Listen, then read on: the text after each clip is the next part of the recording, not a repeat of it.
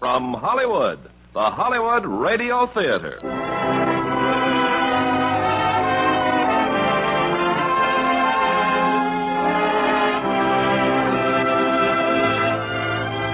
Starring Ray Milland and Phyllis Thaxter in Close to My Heart.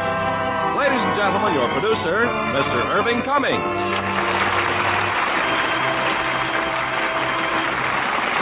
Greetings from Hollywood, ladies and gentlemen. Our play tonight, produced by the Warner Brothers Studios and directed by William Keighley, is outstanding in its appeal to those who wish to become parents by adoption. It's close to my heart, the moving story of a man who felt he must know the background of his adopted baby. And as our stars tonight, we have one of our best actors, Ray Milland, co-starring with that delightful actress, Phyllis Thaxter. Now, Close to My Heart, starring Ray Milland as Brad and Phyllis Thaxter as Midge.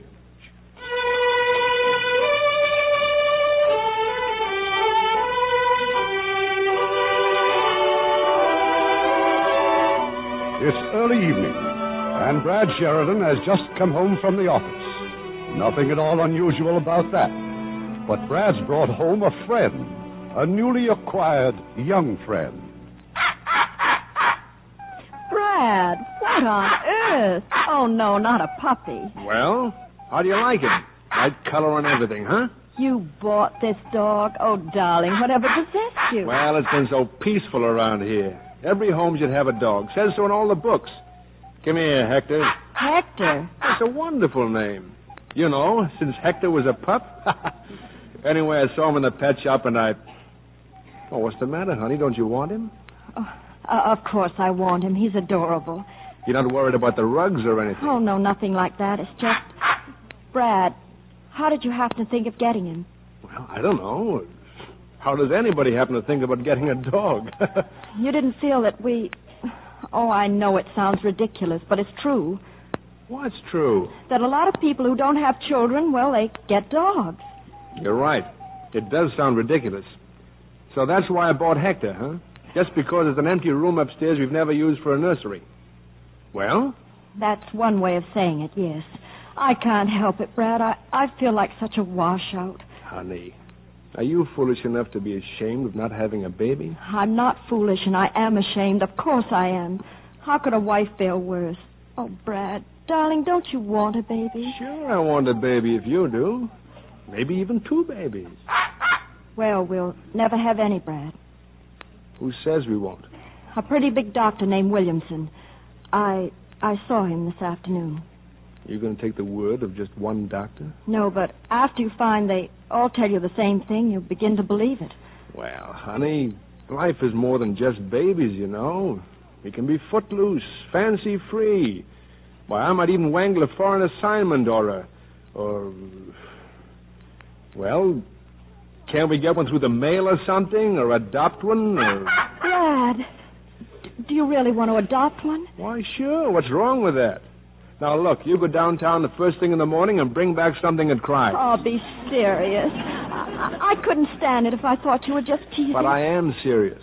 But just one thing. Yes. It's got to be a girl. So she'll grow up to be just like you, beautiful and sweet and.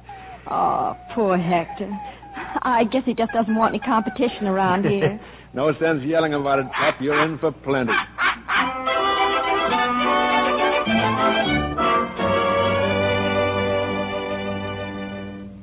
And I think we're finally making progress, Brad. I, I called on Mrs. Morrow again at the Children's Home Foundation, and this time she gave me, well, here, look, application papers for adoption. Well, imagine that. After three weeks, she finally gives us some forms to fill out. But you don't understand what they've got a waiting list of over a hundred. That's just what I do mean, Midge. It's so hopeless. She told you we'd have to wait two years, maybe. Mm, I'm not so sure about that. No? What did you do? Impress her with the fact that I'm the big columnist in the Evening Post? Well, don't think that doesn't help. No, it's something else, Brad. I well, I think I know where there is a baby. Everybody knows we're looking for one, and well, Yvonne called me just before you came home. Who on earth is Yvonne? My hairdresser. She knows about a baby. So what? I knew about him when I was 12. Oh, Brad, please. This one was left at the police station, the Brewster Street police station, about two weeks ago. Police station. What is this, baby? A three-time loser? Will you please listen? Look, darling, I know how anxious you are, but don't you think we'd better stick with the regular adoption people? Oh, but we will. If this baby's available, we'll have the foundation handle everything. It's just that, well, if we find it first, we should have first chance at it, shouldn't we? Well, I guess so, but. Okay, go see him about it. I know you will anyway. Oh, you mind if I, I drive over there right now? Go ahead. I'll see what I can do with this application. And I won't do anything foolish, Brad. I, I promise I won't. Oh, and the puppy, don't forget to feed him. And take him out right after you do. Yes, dear.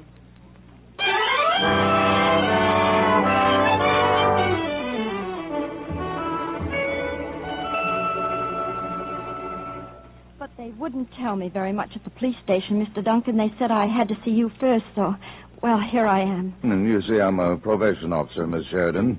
Well, it is true there was a child left at the police station. He was taken to the hospital and then to the juvenile court. Juvenile court? A tiny baby? Hmm, just procedure before the court turned it over to me. But where's the baby now? He's in a boarding home. Then it's a boy. Oh, it's nice to know even that much. Makes me feel I'm getting much closer. You're not close at all, Mrs. Sheridan. Our first job is to find the real mother. Then I I couldn't even see him. I'm sorry, no. Oh. Well, if the mother doesn't claim him, you will let us know. Hmm, That depends. You see, Jimmy is still a ward of the court. Jimmy. Oh, he even has a name. Well, we had to call him something, and I never did like John Doe. Now, you check with me in about a week. How's that? Not for another week. Hmm, It may take much longer than that, finding the mother. Uh, I'll call in a week then. Thank you.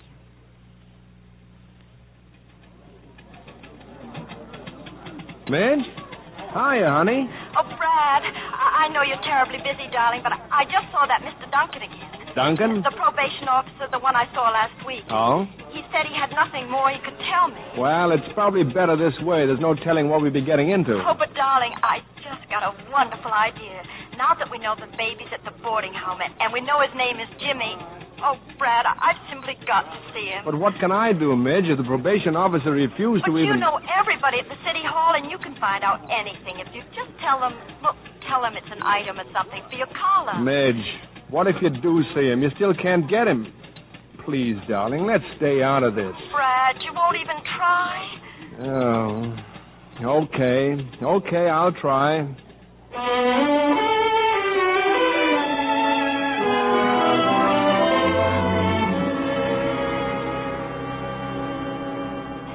It's the right address. Brad, please ring the bell again. I just did. Well, maybe they didn't hear it. They heard it. Now, look, Midge, you're all keyed up. Please take it easy. Coming here to a boarding home isn't. It, it- well, it doesn't mean a thing. Ring the bell again. Do You suppose it's really possible to become a father just by ringing a bell?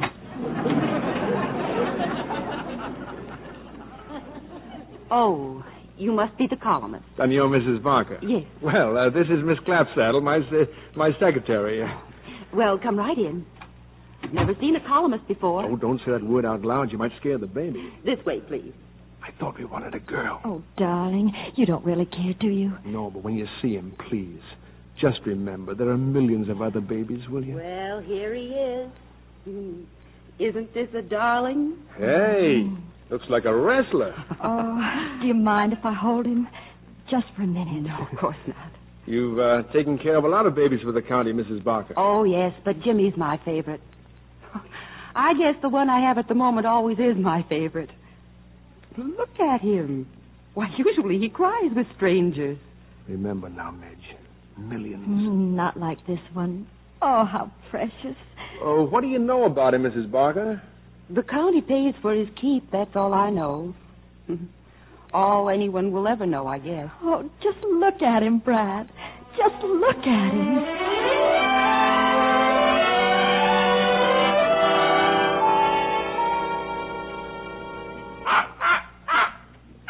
I am listening, Midge. Honest, I am. How can you listen and play with a dog at the same time? Easy there. You called Mrs. Morrow with the Children's Home Foundation. Yes. And she says the authorities wouldn't let any adoption agency have Jimmy for months yet. Oh, it's all so legal. Anyway, they still haven't found the baby. Mother. Midge, suppose they. Ouch! Cut that out! He's got teeth like a tiger. Now, suppose they do give it to Mrs. Morrow's home. Then what? Well, we're right back where we were. Everybody on their waiting list is ahead of us. It's just like we. Ha- Brad, aren't you at all interested in what I've been saying? Yes, darling, I am interested. But can't you see what our chances are? And besides. Well, besides what? Well, you know how I feel. How anybody'd feel. If we had a child of our own, we could be pretty sure of the way he'd turn out. And the same goes for one Mrs. Morrow could vouch for. But with Jimmy, well, who knows? Gee, honey, this is for life. Brad, Oh, come on, cheer up. Two years isn't forever. I'm going over there again tomorrow to Mrs. Barker's. But you know how I feel about it. yes, that. I suppose I do. But I'm going anyway. I've got to. You're just torturing yourself, Midge. Seeing the child and knowing all along you'll never get him. Don't you want him? That's beside the point, Midge. Be sensible. I want Jimmy, Brad. I can't be sensible. I just can't. All right. Go ahead. Go and see him tomorrow if you want to.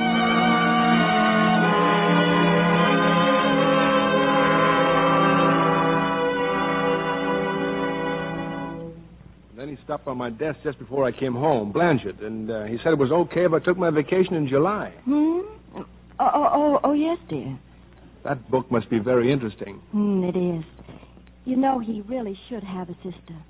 Who should have what, sister? Why, Jimmy, of course. I, I mean, whoever we get.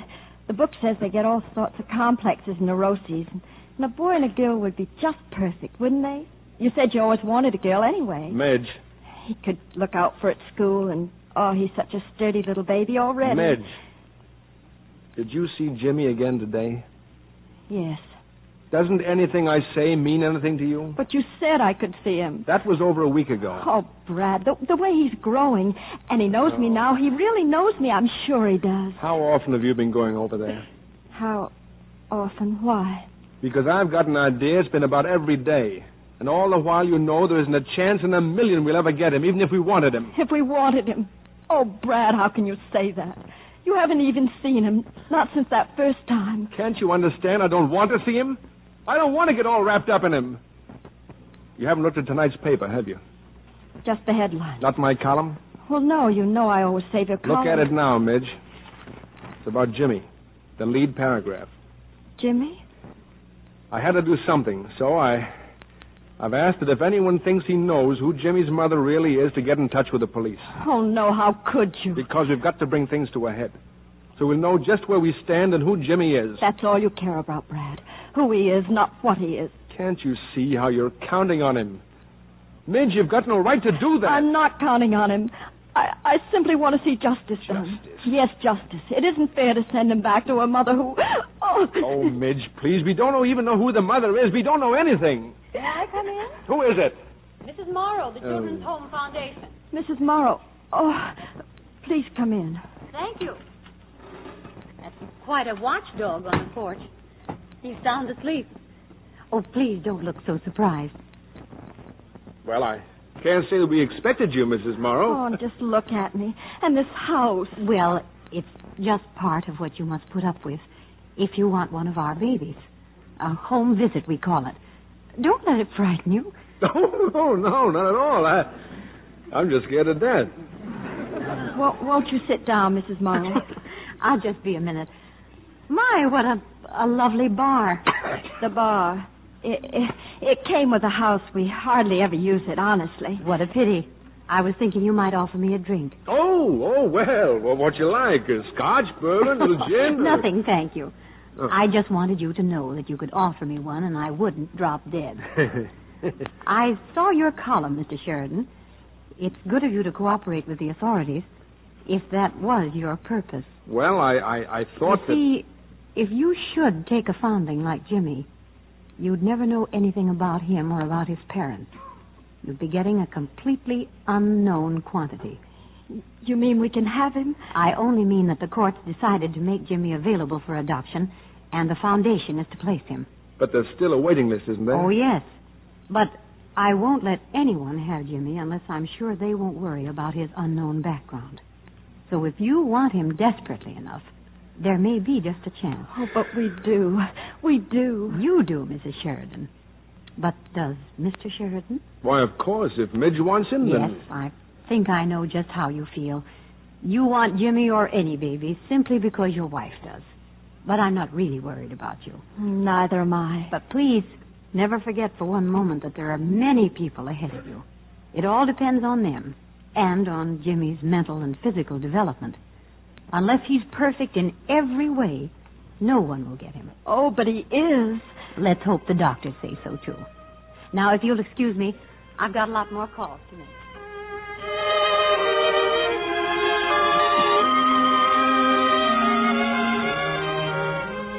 Is she gone? Yes. Oh, oh, I'm such an awful fool, Brad. Why don't you say so? All right. You're an awful fool. But I love you In spite of, because of. Brad, I'm scared. For the first time, I'm scared. The thing she said, I, I mean mental and physical development. She wouldn't have said that unless she thinks that Jimmy is. Well, it's just routine. They've they've got to check. Gee, I'm scared too. Brad. All of a sudden, I've got a feeling I'm going to be a father.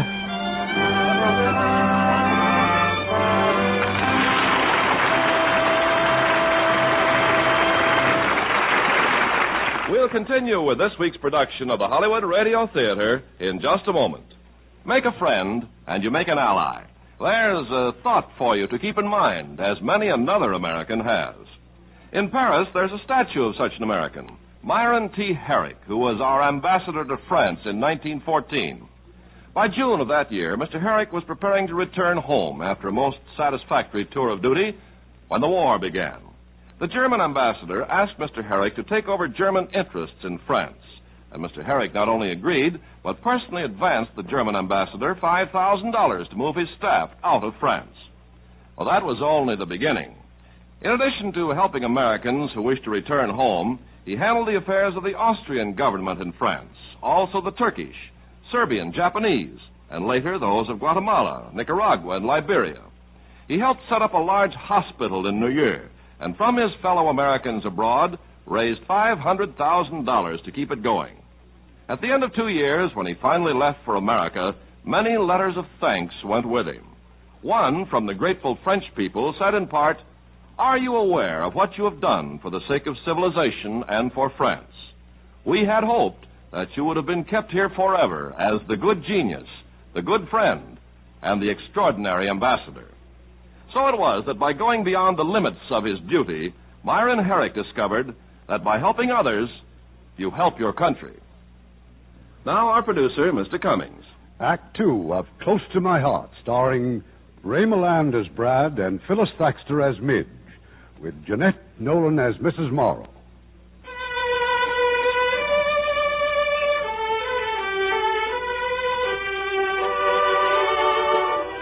A few weeks have gone by. At his office at the newspaper, Brad's had an urgent call from Midge to meet her right away at the Children's Home Foundation, where Brad's arriving now by taxicab. Hey, you want me to wait for you, Mark? No, no thanks. Hey, uh, say, aren't you the guy that writes that column, Brad Sheridan? Well, should I admit it? Or you've been writing some things lately about kids, foundling kids? Well, I've been writing a lot about a lot of things, but I'm sorry, I'm in a hurry. Uh, look, look, uh, suppose a guy tells you something. Do you keep it quiet? You mean, do I protect my sources of information? Why, absolutely. I think I got something for Well, you. Well, swell, swell. See me tomorrow, huh, at the newspaper. Okay, Mr. Oh, Sheridan. thanks a lot. Oh, Brad. Oh, thank goodness you could get here. What's going on? All you said on the phone was. It's Jimmy. Everybody's turned him down because he was a foundling. Isn't it wonderful? He seems rather pleased about it himself, Mr. Sheridan. This is Jimmy? Well, of course. Boy, he certainly has grown. Didn't I tell you? And he's passed all the tests, mental and physical. With flying colors. Oh, Jimmy, I'm so proud of you. Mrs. Morrow, you, uh. You mean he's ours now? We can take him? Not quite. But you get him ready, Mrs. Sheridan. All his things are here, while your husband steps across the hall with me. Huh? Oh, yeah. Yeah, yeah, sure. And no arguments, Brad. Just do what Mrs. Morrow tells you. Well, Mr. Sheridan, I wanted to get you alone because I want to give you one more chance to back out of this. Why do you say that? Because I know a worried husband when I see one. I didn't know it showed. You must have read that case in the newspapers. The Kincaid boy? Yes, I've read all about it. He held up a store. Robert Kincaid's been pilfering and stealing for years. His father's always managed to cover up for him until now. The point is, Robert is an adopted boy. He Huh. was a foundling like Jimmy. So uh, that's why he became available to us so quickly. The people ahead of you, well, they didn't want to take the chance. The case didn't frighten you. Should it? Logically, of course not. Well, I'm scared of my wife, Mrs. Morrow. Of her being so sure. Somewhere in the world, a woman was waiting for Jimmy. Your wife is that woman. I'm counting on her and Jimmy to make a proud father out of you. In any event, the adoption won't be final until you've had a chance to make up your mind. That's all, Mr. Sheridan.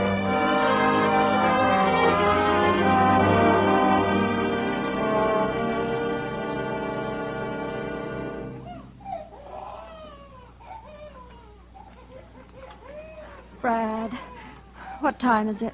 Can you see the clock? Yeah. Ten minutes after four. In the morning.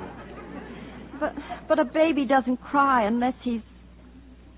Brad, he stopped. Something must be wrong. Wrong? At last, something's right. Ten minutes past four. I bet I haven't slept more than. Yeah. Maybe it's somebody else's baby next door. There isn't any baby next door. Think they could use one? Oh. He, he must be hungry, but we can't feed him again. The pediatrician would shoot us. All right, you stay here. I'll attend to him. Anyway, I can't kick. At least I've had four happy years. Now, okay, okay. Now, let's cut out the noise. You can't be hungry and you can't be lonesome. Of course, it's possible that you're. No? Dry as a bone. Look, you're supposed to be a happy baby. The book says so. Okay, have it your own way. Brad, where are you going? What do you think of the phone? I'm going to call Mrs. Barker. You do, and I'll never speak to you again. It's all right, Jimmy. I'm coming, darling. I'm coming. Maybe if I pick you up. Maybe if I. Brad? Brad? How come he stopped? I, I don't know. Oh, Jimmy. Jimmy. Look at him, Brad. Look. All you did was pick him up. Oh, no. No, it's more than that. Don't you realize what's happened? It's the most wonderful feeling in the world. The strangeness is over. He's ours now.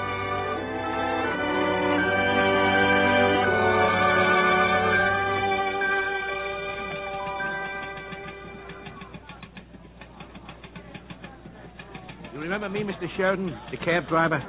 You told me to come by and see you. Oh, yeah, yeah, sure. Well, it's about that kid about, you know, that you wrote in your column about the real mother. Well, that was some time ago. Well, I was scared to go to the cops, but then when I saw you, well, I kind of What figured about the real mother? I can drive you to where she lives, a walk up on the south side. How do you know she's still there? I don't. Not for sure. Okay, come on. I think we better find out. Well, it's late at night, see, and this dame is standing on the corner. She sees me cruising, and I pick her up. She had this box. Box? Well, at first I didn't even know it was a kid. Then I heard the squawk, and I almost hit the car ahead. Anyway, I drop her at Brewster and 41st. Ten minutes later, I'm still looking for a fare, and she hails me again. Only this time, she ain't got the box. How would you remember her apartment number? I didn't. But when I see your piece in the paper, I hung around the building till I see her go in. Oh, I couldn't forget her, Mr. Sheridan. She's a real Lulu, a blonde. Well, this is it. Top floor, apartment 36. Wait for me. Get away from the door, mister. I told you, this is my sleeping time. I'm sorry, but I got to talk to you. It's about your baby. Oh, listen, you. Nobody's going to hang a rap on me for ditching that kid. Nobody's trying to hang anything on you. Can I come in? Come in. Look, that kid wasn't mine. I'm telling you the truth. And if you cops are smart, I'm you'll- not a cop. The police know nothing about this. You're not a cop? Who are you then? My wife and I adopted that baby. Adopted it. And it's only natural we'd like to know something about his parents. His mother. Well, she had the next room down the hall. Only she's not there now. She's dead. She died three days after the baby was born. Who was she? Her name was Martha. I never knew her real last name. Nobody did. She came here about a month before the baby was born. All alone in there, even when the baby came. Alone? She wanted to die, I guess. Well, she asked me to take the baby away. She didn't want him found with her. To ever know who his mother was. I was plenty scared, but she'd been sweet to me, so I did it. What did she look like? Kind of pretty for being so sick. She talked nice when she talked. She never smiled, not once. She gave me her wedding ring. She didn't want the coroner to find out anything. May I see it? The ring? I guess you got a right to. But I hope you can't make nothing out of it. She wouldn't want you to. When I came back that night, she was dead. She looked kind of young then. Real young. But the coroner. He must have known there'd been a baby. Oh, I told him her husband was here, and he took the baby with him. That he was taking the kid to Nebraska. Oh, I did it up real good. Well, ring mean anything to you? These initials. M-L. E-C-H. Martha L. and E-C-H. What about the cops, mister? This'll be just between you and me. But only as long as you're telling the truth. Okay. Now go on. Get out.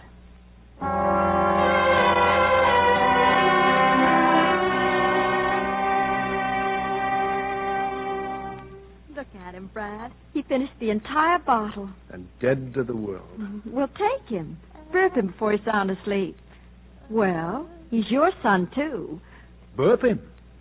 What do I do? Like this? Harder. He won't break. Well, he did it. Well, Jimmy, you've done your duty and I've done mine. I'll take him, dear. What's your hurry? Can't I even... I'll get it. Hello? Oh, oh, yes, Mr. Frost. Well, he's holding the baby at the moment. Oh, the most wonderful baby in the world. Yes, go right ahead. I, I have a pencil. Yes. Martha L. E C H. The last five years. Hmm. That's all? Oh, thanks. I- I'll give it to him right away. Brad, that was Mr. Frost. Oh? He told me to tell you that the records in Sacramento show no Martha L. E C H marriage on file in the last five years. Oh, it's a funny thing to phone about, wasn't it? Hmm. He said it might be important. Is it? Oh, it's just routine, honey. Little research. For the column? Yeah. Uh, you mind if I go out for a while? Then it is important. Well, in a way, uh, yes. Just give me my baby. Take care of her, Jimmy. He will. But if you're going to be late, Oh, don't worry, honey. I'll, I'll phone if I am.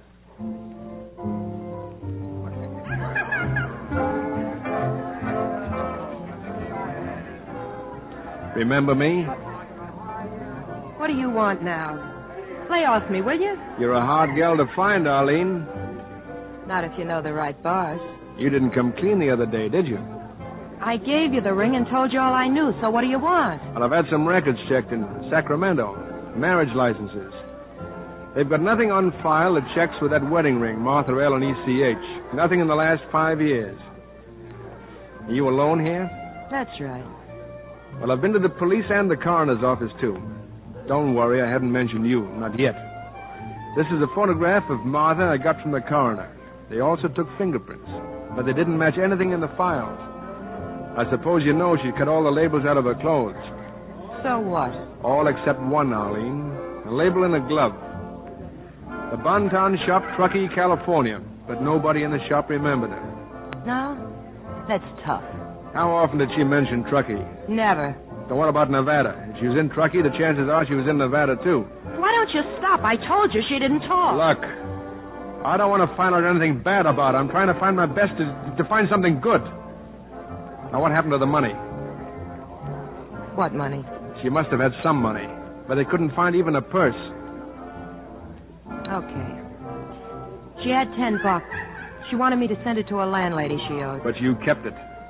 Well, why not? I'd stuck my neck out for her. I had it coming. What landlady? You got the address? I tore it up. Mrs. Madison in Bakersfield. That's all I remember.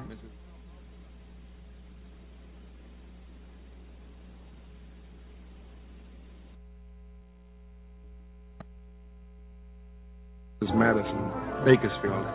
Thanks for the help.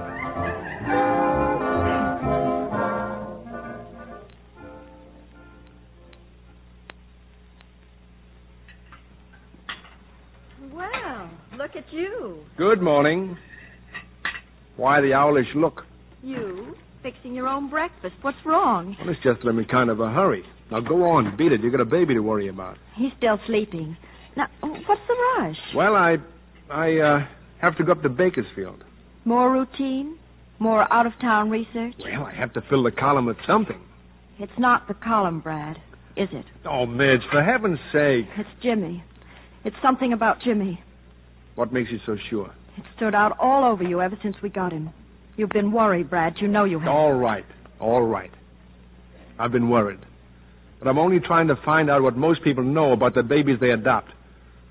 What I've done has been for you, Midge, and for Jimmy, too, as well as myself. But why, Brad? You're still thinking how badly the Kincaid boy turned out. Of course not. But can't you see that if, if you feel one way about Jimmy and, and I feel another, then Jimmy's not part of us. He's between us. There's nothing between us. Nothing. Nothing ever can be. Certainly not a little baby. Little? No. He's not little, Brad. He's as big as anything in life. If I felt I had to give him up for you, or if you felt that you must keep him for me, what then? I know you believe you've been thinking of me, but. And I have. I've got to know you have the baby you deserve, and in your heart you must want to know it too. Midge, why haven't you asked me what I've found out? Because it doesn't matter. Well, I don't know much. Not yet. His mother's dead, and she wanted to die. Brad. Just let me find out why, and all three of us will be happy. That's why I want to go to Bakersfield. Then go, darling. Go and find out. I'm not afraid. And neither is Jimmy.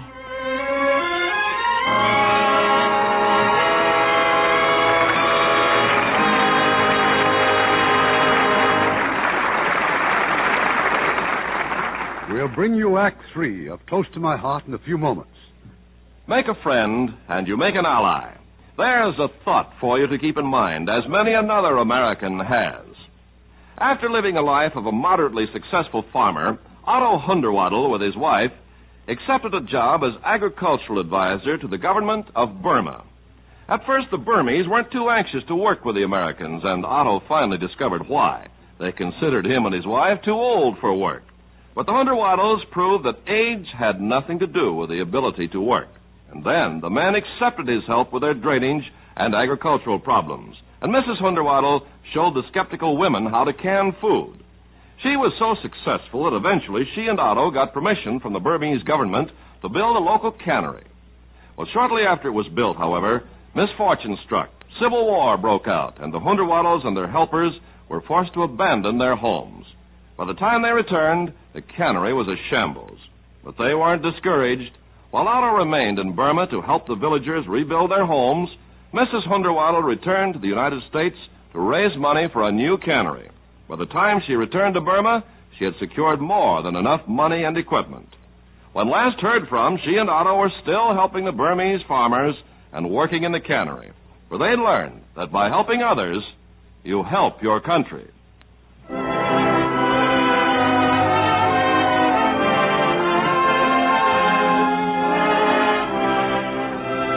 We pause now for station identification.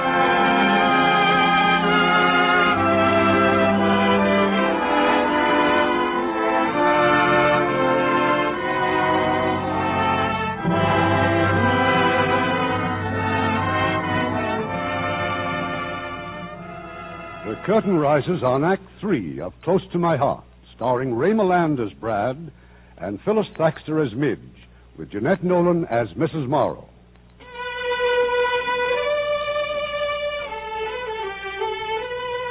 It's been two days since Brad went to Bakersfield. He's uncovered no new facts, only clues. But the clues are promising enough to keep him on the trail. Meanwhile, at home, Midge has a visitor, Mrs. Morrow from the adoption agency. Well, you're doing beautifully with Jimmy, Mrs. Sheridan. There's a really happy baby. Now, how is Mr. Sheridan? Oh, he's fine, Mrs. Morrow, except he's out of town. Newspaper business, I suppose. Or to learn something about Jimmy. Whatever made you say that? Well, in my work, we come to know judges and policemen and even coroners. They told me some time ago that he was trying to track down Jimmy's parentage. Don't let him do it, Mrs. Sheridan. Oh, how can I stop him? It's an obsession with him now, Mrs. Morrow, and, and isn't it better for him to know? Then we can all settle down. Better. You see, you're assuming that what he finds out will be reassuring. What if it isn't? Then if Brad and I love each other enough, we'll, we'll work it out some way. Tell me, honestly, if your husband turns up with something bad about Jimmy, could he love and cherish him as you do?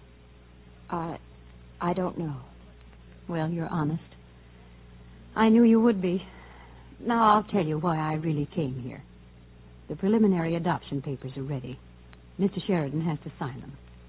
But I'm afraid to turn them over to him until he gives up this search. Until we're sure of how he feels. What are you trying to say? That we want Jimmy in a home, not in a house divided. Remember that, Midge. And let me know as soon as your husband gets back.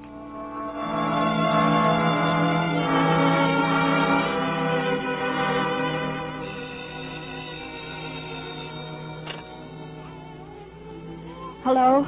This is Western Union. We have a telegram from Mrs. Sheridan from Bannister, California. This is Mrs. Sheridan. Will you read it, please? Jimmy's mother was Martha Lawrence, a school teacher here. Fine reputation, but left suddenly without explanation. Staying on to investigate. Miss you. Love, signed Brad. Thank you. You see, darling, a school teacher. Oh, I knew you were smart. And he meant to say that he missed you, too. He just forgot. Oh, but why does he have to try to find out anything more? It's enough, Jimmy. It's enough.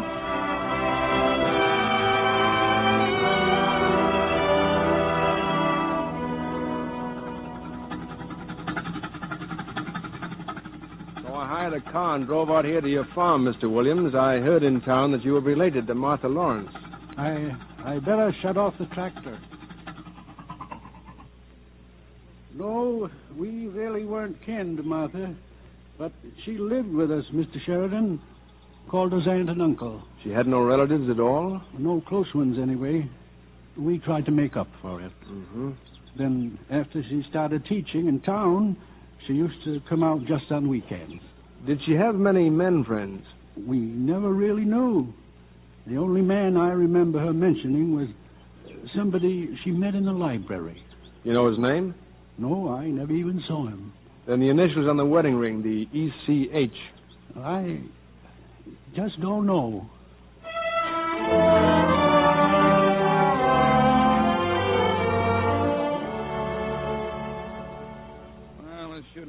Too difficult, Mr. Sheridan. That's one advantage of a small town hotel. When you want to check on somebody, you don't have so many names to go through.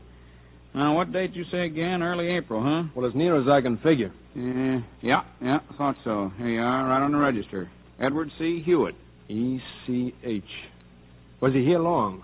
Uh, well, over a month. Left here on the 4th of April. Said he'd come to buy a farm. Couldn't find anything to suit him, though. Oh, he's not your man, Mr. Sheridan. Why not? Well, 'cause he wasn't the type to run off with women. Awful quiet fella, real shy. Sat around reading all the time. How'd he leave? By train? Yeah, train. Where to now, Mr. Sheridan? Check with the station agent. You're wasting your time. If you had ran off with anything, it was a book.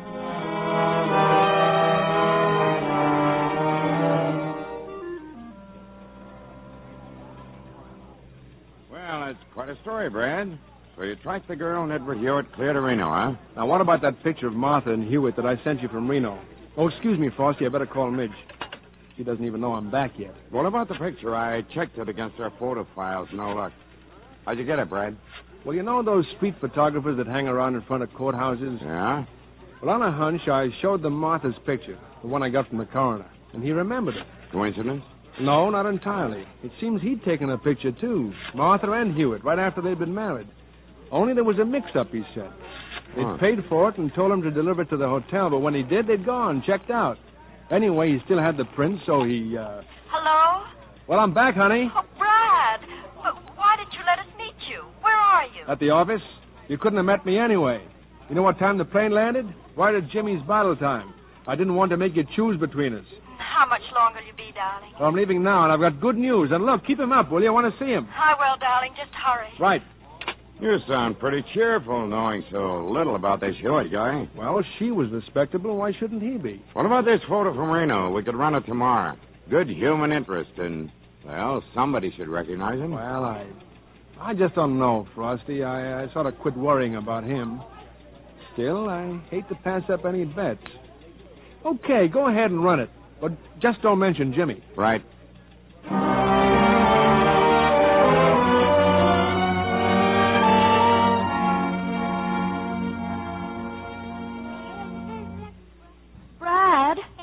Terribly late, dear. It's almost nine. I've been on time all my life. I'm entitled to be late one morning. Oh, eggs, huh? Mm-hmm. How do they look? Perfect. Everything you do is perfect. And you raise perfect children, too, Mrs. Sheridan. Brad, I really think Jimmy knew you were away. Every night when I was giving him his bottle, he kept looking at the door just as if he expected you to walk in. Well, don't think he wasn't on my mind.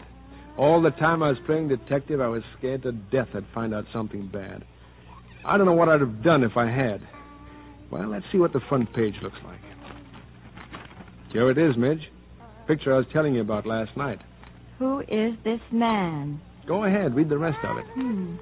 His name is believed to be Edward Hewitt. You see him here with his bride a few minutes after their marriage in Reno last year.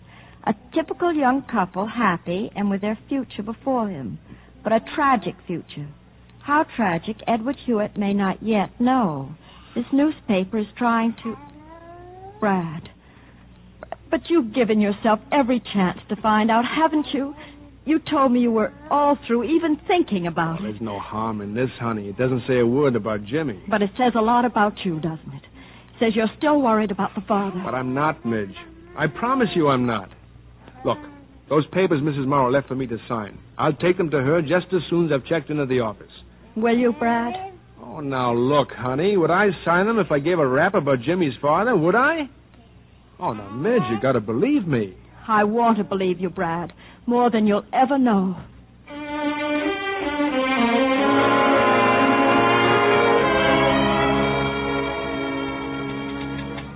Well, what about the picture, Brad?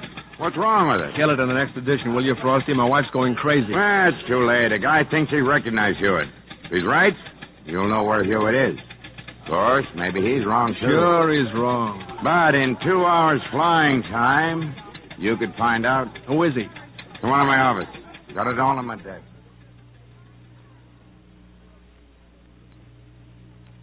Oh, I- I'm so glad you dropped by, Mrs. Morrow, but you certainly have a knack of visiting when Brad isn't home. Do you know where he is, Midge? Why, he's at the newspaper office. No, he's not. I just came from there. You see, I didn't like that picture in the morning paper. How did you know it was about Jimmy? I recognized the mother's face. I've had a coroner's photograph, too. Oh, Mrs. Morrow, you, you've got to understand. It's just the newspaper man and Brad, that's all. Your husband has gone to San Francisco to try to identify Jimmy's father. A man in San Quentin prison. Prison? But, but it doesn't matter. It, it doesn't make any difference. It can't. Midge, we both know how he must feel with Jimmy's father a convict. Well, all convicts aren't bad clear through, and besides, he, he might not be the right man. The point is, your husband wants to be sure. Don't you see? If he thought of Jimmy as his own, if he were capable of that, he wouldn't care. With the example of the Kincaid boy staring us in the face, don't you know that I have to take Jimmy back? You can't. He's mine, Mrs. Morrow. I have to, Midge. But, but the adoption papers. Don't try to fight this. I know how the court will rule. It, it's not that. Don't you see? If if Brad signed the papers, and I know he did, it proves that he really wanted Jimmy in spite of everything. Oh, Mrs. Morrow, please. Wouldn't that make a difference to you? I- I'll call the office. Mr. Frost, he'll know if Brad signed them. Yes, your husband left the papers with Mr. Frost. Unsigned. Unsigned. You've been right all along, Mrs. Morrow. I suppose I always knew you were right. He didn't deserve Jimmy. Don't blame him too much. Under different circumstances, he'll make a wonderful father. Someday, I'll get you another baby. Another baby? Oh, no, dear God, no.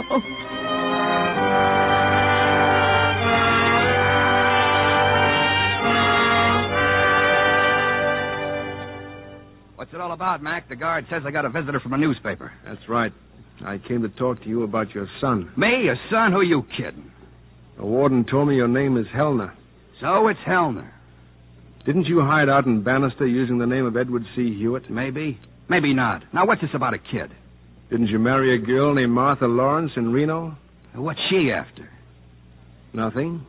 She's dead. Dead, huh? She died giving birth to your son. Leave it to Martha. She reads somewhere that the wages of sin are death, so that's for her. for me, too, huh, Mac? The records say you killed a guard in a prison break just before you met Martha. Then you shot a cop before you were finally recaptured. Something like that, yeah. Go ask the warden. But it doesn't make sense. The people in Bannister said they all liked you. I was hiding out. When you're hiding out, you don't go around making people sore. But it couldn't all have been an act. There must have been something about you to appeal to a girl like Martha. Appeal? Sure, books. That's how I met her in the library. I like books. They're great time killers in stir. Besides, I really went for Martha. But the minute she hears I'm on the lam, she runs out. I never even knew about any baby. Would it have made any difference if you had? Yeah, plenty. There's no place in my business for kids, Mac. Thanks, Helner. I guess that's all. Hey, where do you fit in all this? Well, my wife and I, we, uh. Jimmy lives with us. Jimmy, huh? Hey, how come she didn't name him after me?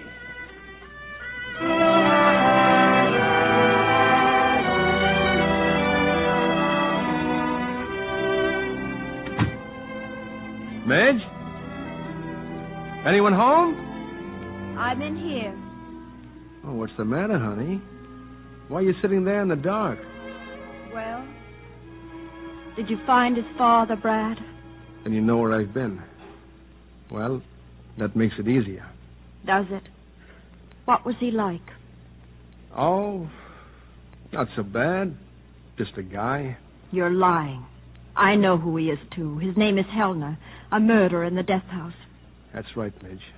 As brutal and callous as something out of the Stone Age. A monster to breed monsters? How'd you find out about all this? Does that matter? Where are you going? To see Jimmy? Well, Jimmy's gone. They took him back, and I'm thankful. Thankful for his sake. They can take him back. Tell that to Mrs. Morrow. You mean now that they know the truth, they don't consider him eligible for adoption? Protecting you from Jimmy? No, Brad. They're protecting Jimmy from you. But you've got to have Jimmy. We'll get him back if you have to go through every court in the country. Will we? Brad, I know you think you love me, and I know you try to put up with anything to keep me happy. But I won't let you do it. Not at the expense of that poor baby. Where have they got him? At that boarding house? Brad, you can't do it. Can't I? Just let them try and stop me.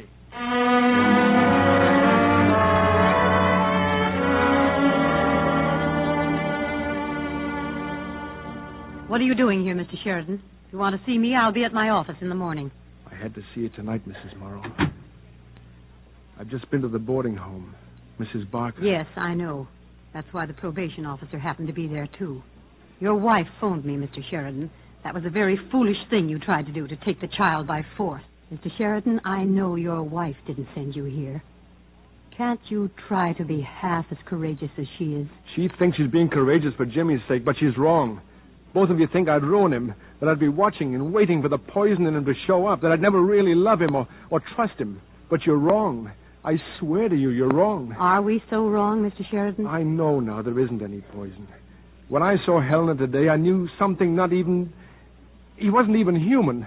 If he was only half bad, I might have believed he could be Jimmy's father. I might have stayed frightened, frightened of heredity, of bad blood, but but he was all bad. If you're trying to tell me that Helner isn't the real father. Oh, Helner's the real father, all right, physically. But that isn't what I mean. I talked to the prison doctor. He told me that Helner couldn't transmit to Jimmy any characteristics he didn't have when he was a baby himself. And what does that prove? Well, Helner wasn't born a criminal. Nobody is. What I'm trying to say is that there were two Helners. The Helner I met in the death house and the one I never saw. The one that could have become anything if he hadn't been born in a slum, if he hadn't had to go out and fight the world before he was old enough to know how. You see, I know about that other Helner. I'm not so sure I understand you, Mr. Sheridan. Well, I met Helner's brother today. The prison doctor introduced us. There were five children in that family, and only one went bad. Why? Because he was the one with the ambition to get out of that slum, and there was no one there to tell him how. Nobody except sneak thieves and gangsters, and so he died. inch by inch, prison sentence by prison sentence. Mrs. Morrow, Jimmy's father isn't that murderer in San Quentin. His, his real father died years ago, as Jimmy might die without the love and understanding Midge could give him, and I could give him now. Sit down, Mr. Sheridan. I. I have to make a telephone call.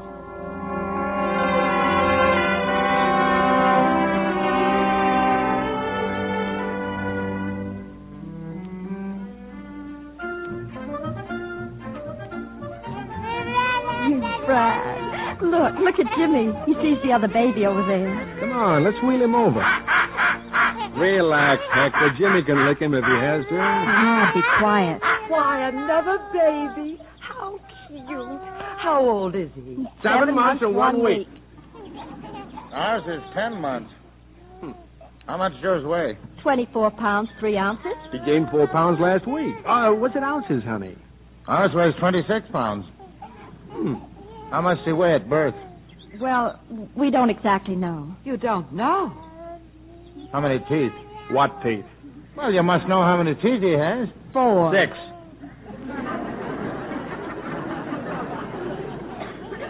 This one's got eight. Come along, dear. We'd better start walking home. Yeah. Well, I guess Junior showed that kid a thing or two. Isn't it wonderful, Brad? They think we're really parents. It's like being taken into a club. Yeah, the Liars Club. That baby of his never saw the day it had eight teeth. Hmm. You're beginning to make sounds just like a father. Hey, wait a minute. There's another baby carriage over there. I'll be right back. Hey, how many teeth has your baby got?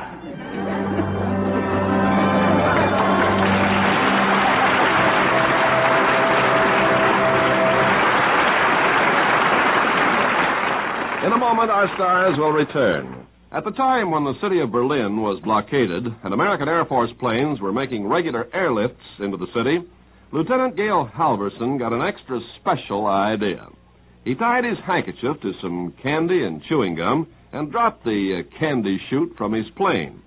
Well, this was the beginning of Operation Little Vittles, and soon from the aircraft of Lieutenant Halverson and his buddies, thousands of candy chutes dropped every day to the German children around Tempelhof Air Force Base. Americans at home heard of the project and sent handkerchiefs to make the tiny parachutes. To the desperate blockaded city, it was a symbol of kindness, of generosity, and of hope for the future. Such acts, by you and your friends today, are shaping our world of tomorrow. Now, Mr. Cummings with our stars. And here they are for a special curtain call Ray Milland and Phyllis Thaxter. Next week, we've chosen an exciting, suspenseful picture from the studios of Metro Goldwyn Mayer. It's the engrossing story of a criminal lawyer who has lost faith in himself until called upon to defend a young client accused of murder in People Against O'Hara. And as our stars, one of your all time favorites, Walter Pidgeon, co starring with that charming actress, Janet Leigh. Well, we'll be listening, Irving. Good night. Good, night. The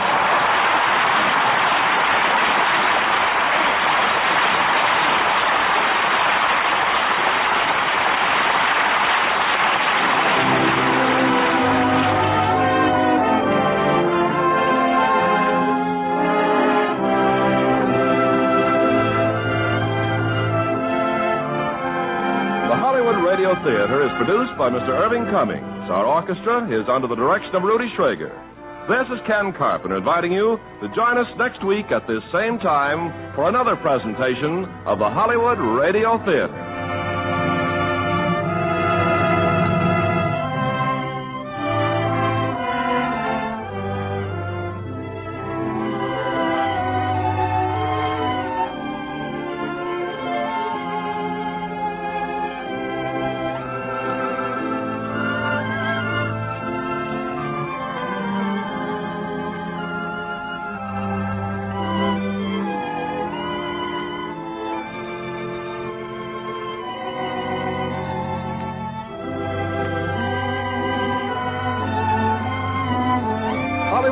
Radio Theater is a presentation of the United States Armed Forces Radio Service.